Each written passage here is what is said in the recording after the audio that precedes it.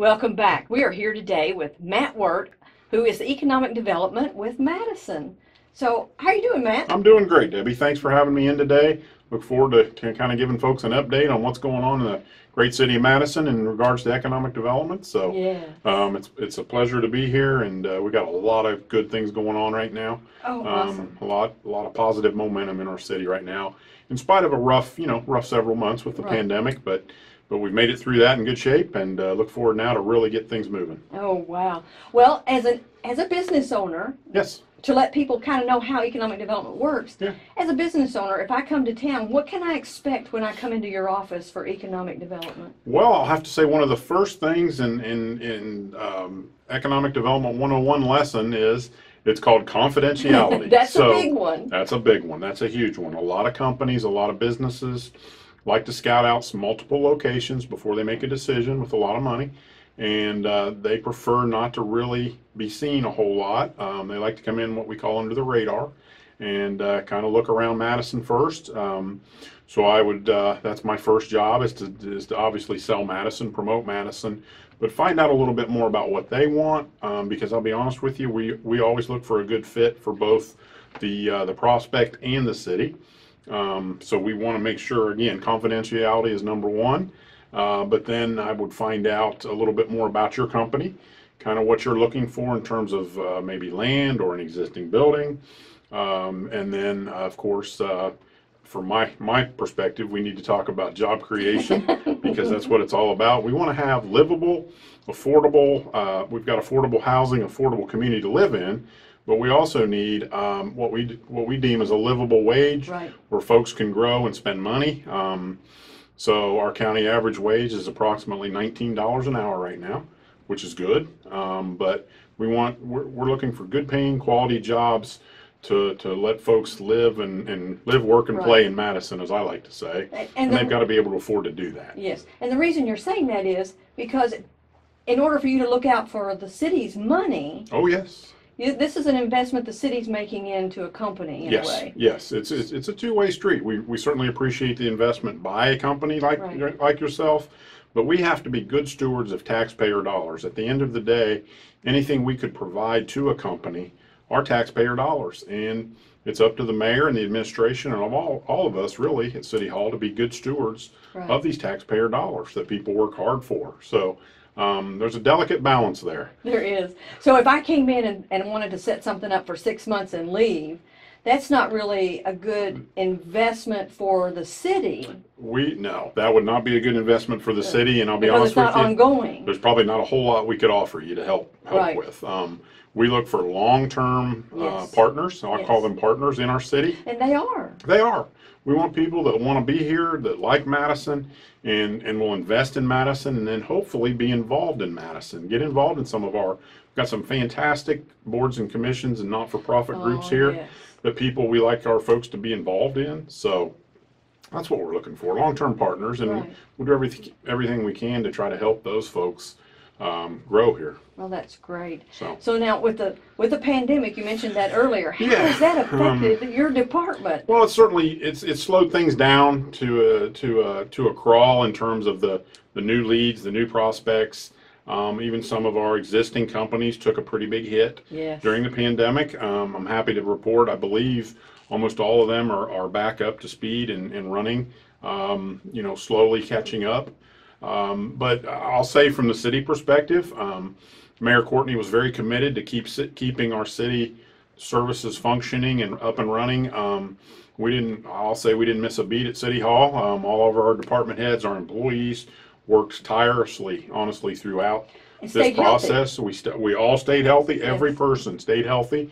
Now we did follow the health department guidelines and CDC protocols. We were doing our normal, you know, temperature checks and making sure we were following what needed to be done and uh, to stay healthy. But we all stayed healthy. And the mayor kind of, he he challenged us. He said, you know what, department heads, he goes. Look at look at the things you would like to get done that you never have time to get finished, and go ahead and do them now. That Yes. things are a little slower. So Right. um, we all kind of dug in a little bit, got some things done, and off our plates that that now we're now we've got time to go out and do the things we really need to get done and want to get done to grow the city. So Um, we came through the pandemic, I'd like to say in good shape as a city. Yes. Um, you know, the mayor provided some good leadership through the process and, uh, really, uh, Madison didn't miss a beat, in my opinion. We did our, our jobs program, our temporary jobs program. Um, that was exciting. Um, Chief of Staff McGee spearheaded that for the mayor. And, uh, we created jobs for folks that had been laid off immediately Yeah. and uh, put some people back to work. Um, you know, albeit as a temporary program, but it did help people. So that was a bottom line, and we got some services out of folks that we needed projects finished and completed around the city, and that worked out well. So It, it worked just out one for both. It worked out for and the city and for the person. Yeah. Right. So that that was uh, that was probably one of our greatest greatest programs so far. So It's funny how when there's when there's something type of tragedy, sometimes innovation creates. Exactly, it does. It does. It brings people together, and uh, we had to think outside the box, and, Yes. and the mayor and some others certainly did that. And I thought that program worked out well. Um, Yeah. You know, we've done some other things. Um, we were able to uh, help our local Main Street organization. We gave them a grant to, so they could help with some renters assistance for some of our businesses downtown to help with rent relief. Um, proud to be able to partner with them on that. So it just it, it, it was yes, it was a horrible time for our country and our city, but um, people pulled together and we got through it, and now things are on the upswing. Um, pool op- our pool opened yesterday. I can't be more excited about that, and I know a lot of kids are too. Yes, that was So, great. I'm yep. sure parents are glad too. I think parents are too. I think Send the parents kids are ready down to for four yes, hours get the kids out and out and about. So Yeah. Yeah. Well, now, just so everybody knows, we, we talked about the pool the other day, yes, but just so they know that there's two shifts at the pool there are. in Um, order to comply with the CDC. we had to follow CDC guidelines. Our Yes. our new parks director Seth Pennington's doing a fabulous job. Yes. Um, and and keeping up with all the guidelines, Yeah. making sure. Bottom line, he, he wants to make sure everybody's safe down there. Right. So we did have to split things into two shifts for sanitization purposes. Um, but um, I don't know that there's going to be a huge disruption because of that. I think people still want to go out and swim, and um, my understanding is going to get rather warm towards the end of this week. So Oh, I think we'll see people in the pool even more. So Oh, we were glad to glad to get that back open. Yes. Well, we just wanted to remind Yeah. everybody about that one. Absolutely. So now, then with the development, you have some developers that are kind Yes. of asking questions. Um, So- yeah, back to the pandemic a little bit. That slowed that process quite a bit. Um, the good news, um, we still have some developers that have an interest in Madison, albeit um, it's pushed back timeline a little bit, probably That's okay. between six to nine to even as much as 12 months possibly. Um, but it is a, it, the good news, they are still interested. They haven't crossed us off the list. So Good. um, I think we could see some things happening. Um, I would like to speak on the development side a little bit. Um, I've gotten some calls. I know the mayor's gotten some calls. Well, how And- come we can't save Penney's? How come we can't save Gordman's? Um, Yes, and that's, that's a big issue here. It is a because big there's- issue. There's people that aren't gonna have jobs that work there now. And then it's Exactly. gonna eliminate a, a resource for the community. It is. It is. Penney's has uh, been a staple in all over the country, honestly, for for quite a few years. Right. And a lot of people shop there. Um, but that decision was made at the corporate level. It was a Right. financial decision for their entire company is struggling um, all over America, quite honestly. Um, so not really anything the city could could do or offer to to change that decision. And the same thing with Gordman's. Um, those decisions are made in boardrooms around the country that they look strictly at the numbers and the performance and just not a lot of local city could do to try to keep those there. So Right. hopefully that operator of that center will step up and I know they're probably trying to market to new Right. new clients. So And if, if those companies wanted to stay, they would have approached you and asked you how, what Yeah, can you do yeah, for us? they to would have stay reached here?" out for us. and- If it was and possible. We had n- no conversations with, with Right. those folks. So Right, it was pretty much a foregone conclusion, unfortunately. So right. just got to hope to fill those buildings back up. And, and in a few years, maybe they'll Absolutely. come back It when is a nice things center. get better. Um, it's, it's anchored on each end by two good tenants, and I Yes. think, uh, those can be filled back up hopefully in a year or two, once, once things calm down with the virus. Yeah, wonderful. Well, we'll have Yeah, to watch for we'll have that, to won't watch. So So- now, if people want to get in contact with you, Yes. it's going um, to be very easy. It How is can they do easy. It's that? probably the easiest thing going now for economic development. Um, Yes. the, what, the mayor made it a priority, um, not only in his campaign, but once elected. Um, he wanted a seamless transition with economic development, and he wanted economic development to be located uh, as a city department. And literally, I am right next to the mayor's office in City Hall. So uh, that has its, that has most of the time its pros and cons. So it works out well. Um, but um, no, I'm in City Hall and Yes. uh, 812 265 8300. And So, uh, that is how to get a hold of me and uh, a moment's, uh, moment's call away. Right. The other thing it does, it allows economic development to work closely with all our departments in City Hall, our planning and zoning department, our building department, our streets and sewers and water departments, um, even police and fire play a role. Um, Yes. in economic, our planning department. Um, Yes. We've got a great program going now, our stellar, or I'm sorry, our um, um, neighborhood revitalization Right. program. Um, that that's going as well as our stellar program.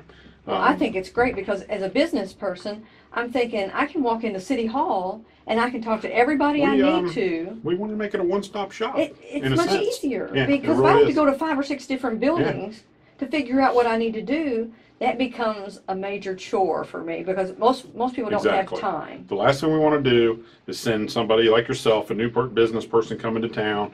Well, you have to go down the street two Yes. blocks. You have to go over here. You have to call that department. We want to try to make it as seamless as possible, and I think we're we're well on our way to Oh, doing that. So I- with I'm everything, impressed. with the planning and zoning departments and and uh, Nicole Shell, at our preservation department, um, makes life you know easier. Right. We streamlined some of the permitting processes through that department. So a lot of positive steps to make it a lot. We are, in my opinion, a lot more business friendly probably than we than we have been maybe in the past, Oh wow, and uh, really open for business. cool. So looking forward to the rest of this year finally to, to get some things rolling. Right. Now, now as business owners, sometimes if they're looking to come to town and do things, they really don't want everybody to know they're Nope. coming yet. Nope. So if they want to meet with you, I will meet anybody anywhere, anytime. Um, Privately. privately. yes. I've got several locations around town we can go that yes. are are are fairly confidential, and uh, Awesome. Be glad to do that. That would be that would be Yes. very helpful to some Yes. people. Some people don't want to come into City Hall when they're scouting a new location. I understand that. Well, there are people in there besides. the Oh, yes, staff. oh, yes. So there It's may open to the be- public, it's a public building, so they're a little uncomfortable with coming in. So I've So you meet can have them a, either in Madison or I've even met companies in other cities. right. So So you can do it confidentially, however it works for Exactly, them. Exactly, so, This is yeah, wonderful. so So one more time, tell them your phone number. 812-265-8300. Awesome. All right. Yep. Was there anything else we need to cover today? No, I appreciate you reaching out and, and we're getting the word Oh. out and, uh, this is great, so I- I've Well, we look forward to having you back. We'd like I'm to glad, keep glad. this up and, Yes, you know, I'll be every back at month. some point, give you an update. I know the mayor does as well, so. It does. um, When we can, when we can slow him down a Yes, little. he is a man on the move all the time. He so, is. yep, he's a busy guy, which is good. Wonderful. Well, Matt, we really appreciate you Well, coming Debbie, in. thank you very much. I enjoyed it. You're welcome. Glad to glad to do it. So, Great. Okay. Well, as for our sponsors, we appreciate you for making all of this possible. And as for you, thank you for watching.